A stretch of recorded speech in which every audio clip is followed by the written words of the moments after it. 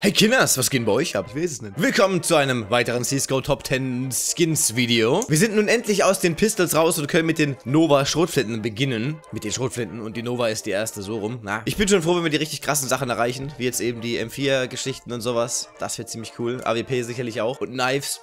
Aber man muss sich auch erstmal hocharbeiten, ne? So, auf meinem Platz 10, die Nova Green Apple. Green, meine Lieblingsfarbe, ihr wisst schon, ihr könnt euch vielleicht denken, warum möglicherweise dieser Skin auf dem ersten, äh, beziehungsweise auf dem ersten zu zeigenden Platz bei mir ist, also auf dem 10. Platz. Habe ich die Shader jetzt an? Natürlich waren die Shader wie immer aus, ähm, so hier mit Shader. Benardi, Benardi Fratelli. Dieser Skin kostet in FN 45 Cent. Die Preise sind äh, wie immer von CSGO Stash. Auf meinem 9. Platz ist die Nova Blaze Orange. Die sieht so richtig nice aus. Da sagt jetzt jemand irgendwie, naja, naja, ich weiß nicht. Gut, außer einem gefällt Orange nicht, okay. Aber sonst, die Blätter, diese Spuren, diese Äste und sowas, also als wenn da ein, ein Wald, beziehungsweise die Silhouetten von diesem Wald mit einem äh, Fluss darin. Sehr schön. Für Herbstfreunde, mh, super Geschichte. Das Teil kostet 125 Euro in FN. Ich weiß, ganz schön krass und so. Aber hey, ist halt auch eine krasse Waffe, ne? Mhm. Auf meinem Platz 8 die Nova Modern Hunter. Eigentlich derselbe Skin. Gut, die Blätter und hin und her, also es ist so ein bisschen anders, aber die Farbgebung gefällt mir dann doch ein bisschen mehr. Orange ist schon nicht schlecht, aber ich bin jetzt nicht so der Ultra-Orange-Fan. Das ist schon so eher ähm, etwas dezenter, mein Fall eben. Wenn man damit auch tatsächlich jagen geht, ne, der moderne Jäger, dann braucht man eben solche Farben und nicht solche brutal glänzenden, äh, hier bin ich Farben. Man muss immer so ein bisschen in sich reingehen und sagen, gut, ich bin versteckt im Wald, ich will jetzt nicht zwingend gesehen werden von den Bären. Das Teil kostet nur 107 Euro, also ist ja praktisch geschenkt, wenn man so will. Heute ist übrigens übrigens wieder Livestream, ne? Wo wir es gerade von Geschenken haben. Gibt wieder Skins und sowas für euch. Heute ohne Fewer Games, ausschließlich Entertainment by me mit äh, Giveaways. Wahrscheinlich dann drei Giveaways, denke ich, weil wir dann etwas mehr Zeit haben und diese lange Geschichte der Findung rausfällt. Haben wir dann heute auf jeden Fall drei Giveaways, drei Skin-Giveaways, die wir dann durchziehen können live. Der nächste Skin ist die Tempest. Ja, ich weiß, du hast doch gesagt, blau gefällt dir nicht so gut. Blau an sich. Wie diese eine Pistole, glaube ich, war, diese USPS oder was ist, ne? Sieht doch das so eine komplett blaue. Sehr langweilig. Aber das hier, mit diesem leichten Farbunterschied hier vorne beim Rohr, wie die Professoren sagen, Rohr. Und das hier ist hinten. Und diese Maserung, das gefällt mir doch schon. Äh, besser als diese komische Pistole. Fuck, mein Stift fliegt rum. An sich ist die Nova auch eigentlich eine coole Waffe. Also in diversen Spielen macht ihr wirklich Spaß zu spielen. Bei Counter-Strike, naja, hält es sich der Spaß auf jeden Fall in Grenzen. Aber man kann es aber auch einfach mal machen, ne? Und eine Runde pimmeln. Wisst ihr was? Heute Abend hauen wir dann irgendwie noch eine Nova raus im, im Livestream. Erinnert mich bitte dran, dass wir da mindestens eine Nova raushauen. Um diesem Video wieder äh, praktisch zu entsprechen. Apropos Video entsprechen. Scheinbar bilden sich immer mehr Angsthasen hier auf dem Kanal, denn die äh, Horrorvideos, also speziell Hector, hat sich jetzt über die zweite und dritte Folge extrem äh, abgebaut, Leute. Was ist los? Habt ihr so richtig richtig Schiss? Hat er so richtig brutale Angst, dass er sagt, wow, ich traue mich nicht reinzugucken? Sagt ruhig, wenn ihr zu arge Angst habt, Leute. Sagt ruhig. Alle schreiben mich an, ich soll unbedingt Resident Evil machen. Jetzt pass mal obacht, da guckt da wahrscheinlich kein Schwein zu, weil es so krass ist. Auf meinem Platz Nummer 6 ist die Nova Antike. Die antike Nova. Ist das was oder ist das was? Man fühlt sich direkt, als wenn man in so einem Western spielen würde. Bitte kommt jetzt nicht, ihr alten Geschichtsphilosophen, äh, und sagt mir was von wegen Nova im Western, du bist doch Novel. So halt ungefähr. Schrotflinten sehen halt auch so aus wie die aus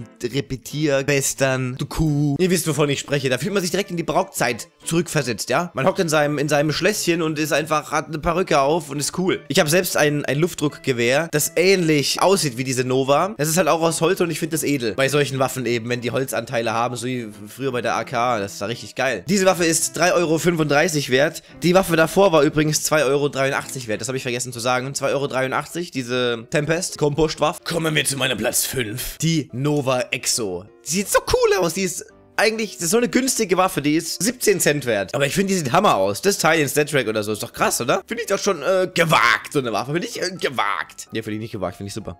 Kann man auf jeden Fall machen. Die Waffe auf meinem vierten Platz ist die Nova Bloomstick. Die Nova Designer müssen wohl irgendwie stark mit der Natur verbunden sein. Wenn ich es recht in Erinnerung habe, ist es der dritte Skin mit, mit äh, Bäumen und Blüten, Blättern, Kram, Wurst drauf. Natur halt, eben. Die kostet 12,98 Euro in FN und sieht einfach geil aus. Also gerade für Menschen, die halt gerne mit roten Waffen spielen, dann nochmal mit diesen farblichen Akzenten drauf herrlich. Also das kann man auf jeden Fall äh, jedem empfehlen, ja. Es bringt einfach frischen Wind in die Nova-Szene. Da weht der Wind, da fliegen die Blätter, da fliegen die Köpfe. Das macht Spaß. An dieser Stelle dürft ihr wieder raten oder abschätzen, was wohl meine drei weiteren äh, vorderen Plätze sind. Platz 1, Platz 2 und Platz 3. Natürlich könnt ihr auch gerne eure eigene Top 3, Top 5 oder Top 10 Liste erstellen oder mir einfach sagen, wie ihr meine Top-Liste fandet, ob ihr da einverstanden seid oder ob ihr sagt, was? Bist du behindert? Oder so.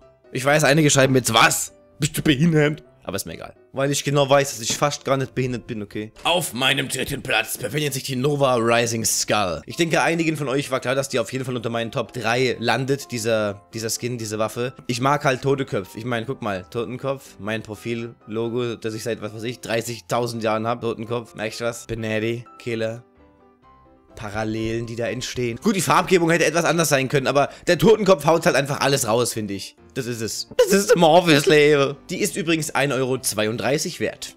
In FN kann man sie sich kaufen für diesen Preis. Habe ich, hab ich für die Blumenstick gesagt? Die Blumenstick ist 12,98 Euro wert ungefähr. Also sagen wir mal 13 Euro in FN. Habe ich es vorhin wieder, wieder vergessen, ne? Ja, ja, ich alter Grasdackel. Ich habe sie auf meinem Zettelchen stehen, aber nicht gesagt. Ich bin ein Pisse. Auf meinem zweiten Platz, wie soll es anders sein, die Nova Koi. Davon hatten wir es ja schon, als ich äh, die letzte Nova Koi verschenkt habe mit meinem, mit meinem Autogramm drauf, die Bubble Koi, dass äh, diese Waffe doch wirklich sehr edel ist. Ich habe zwar keine Kois und Fische sind jetzt auch nicht so mein Ding, aber dieses geschuppte Außenhäutchen finde ich doch schon äh, sehr schön, ne? Sehr schön bis wunderbar. Die ist 50 Cent wert in FN. Unglaublich, oder? Unglaublich. Solche Skins, ja, da denkt man sich, okay, gut, die werden jetzt 10 Euro kosten, da kosten die nix. Und die Skins, bei denen man sich denkt, weißt du was, da leg ich 20 Cent drauf und hab 5 Stück davon. Nein, die kosten dann 150.000 Euro. Nun kommt der Platz 1. Ich glaube nicht, dass es für irgendjemanden neu ist, dass die Hyper Beast auf meinem absoluten Platz 1 steht. Ihr wisst ja, M4 Hyper Beast, AWP Hyper Beast, Nova Hyper Beast. Das ist einfach so ein geiles Design. Wenn man dann noch bedenkt, dass ich ganz am Anfang, als ich die äh, Hyperbeast gezogen habe, die äh, AWP Hyperbeast damals beim ersten Case-Opening auf YouTube, vor dem Ziehen habe ich noch gesagt, ah, die da unten, diese AWP Hyperbeast, die ziemlich schwul aus oder sowas. Und ich ziehe so nicht so, okay, gut, jetzt habe ich eine AWP, hm, ich hätte lieber eine, äh, keine Ahnung, M4 oder MP oder sowas gehabt. ich war so völlig unbeeindruckt und das hat sich einfach zu meiner, zu meiner Waffe Nummer 1 entwickelt. Zum Skin Nummer 1 vor allem. Wirklich herrlich. Das Teil habe ich nach wie vor ausgerüstet. Die hat zwar keinen Stat-Track, ihr wisst, ich will eigentlich nur noch Stat-Track-Waffen. Aber die Hyperbeast kann man mit keiner Stat-Track-Waffe überbieten, den Skin. Die M4 Hyperbeast habe ich ja geschenkt bekommen von Big Wallen. Vielen Dank nochmal an dich, Bro. Sogar in Stat-Track. Vielleicht ziehe ich irgendwann eine AWP Hyperbeast und eine Nova äh, Hyperbeast. Beides natürlich in Stat-Track. Und dann habe ich auch eine Nova und auch eine AWP, die ich äh, dann für immer spielen werde. Bis dahin muss ich noch ein bisschen mit meiner äh, Nicht-Stat-Track-Geschichte rumspielen. Ist halt langweilig, ich weiß, aber naja. Mm. Soweit, so gut. Vielen Dank fürs Zusehen. Falls ihr euch die Mühe gemacht habt und äh, eine eigene Top-10-Liste geschrieben habt, dann gebt euch mal einen Daumen nach oben, also auf euren Kommentar drauf. Habt ihr euch verdient. Ja. Ich werde erstmal geschwind das Video schneiden. Heute ist Livestream, habe ich ja vorhin schon erwähnt. 19.30 Uhr geht's los. Und jetzt ist es, keine Ahnung, wie viel Uhr ist es jetzt? 12.45 Uhr erst. Sehr geil. Da kann ich noch geschwind das Video hier schneiden und habe wirklich noch einen dicken Batzen Zeit, um endlich mal ein bisschen vorzuarbeiten. Das will ich schon seit Jahren machen. Aber erstmal schaue ich nach meinem Girlfriend und die ist krank. Und sie liegt drüben im Bettchen und schläft vielleicht, wer weiß. Und da muss ich mich so ein bisschen um sie kümmern. Will ich mich ein bisschen um sie kümmern? Was labert ihr hier? Hallo? Von müssen kann da wohl nicht die Rede sein. Vielen Dank für alles. Macht's gut. Bis äh, zum Livestream dann. Ciao.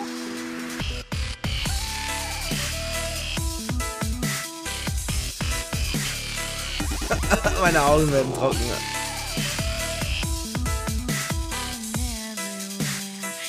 Gott, habe ich trockene Augen.